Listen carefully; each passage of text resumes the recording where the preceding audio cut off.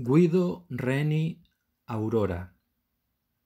El estilo de Guido Reni, que también había comenzado por deber algunos de sus rasgos al tenebrismo de Caravaggio,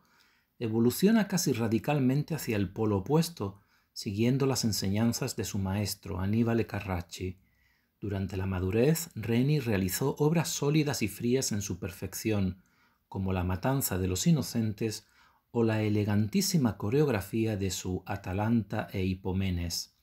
En los últimos años, la imitación del maestro se hace sublime, y en frescos como estos parece repetir casi literalmente los cuadros del máximo exponente del idealismo.